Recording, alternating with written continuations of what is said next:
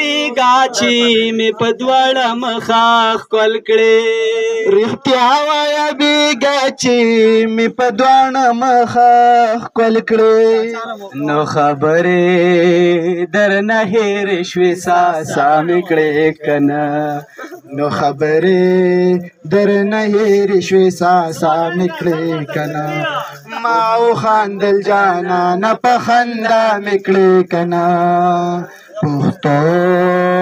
مې درله ما تکړه رضا نکړې کنه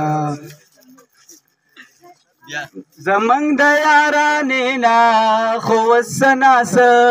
خبر شوي زمنګ د یارانې سنا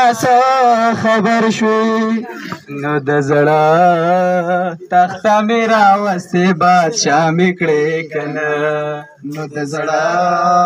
تخت میرا وسه بادشاہ میکړې کنه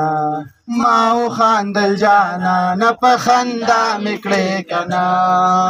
پختو مې درلما تکړه رضا میکړې کنه تاسو ویل چې زستانه بزړه صبر کما بسته تاسو ستانا بزړه صبر کما بس نو چې ز در مخه مخ شوار خطا میکړې کنه نو چې ز در مخه مخ شوار خطا میکړې کنه ما او خاند جانا نه په خندا میکړې کنه اوه ما کړه رسا میکړې کنه ಸೈತನ ಮಾತಗಳ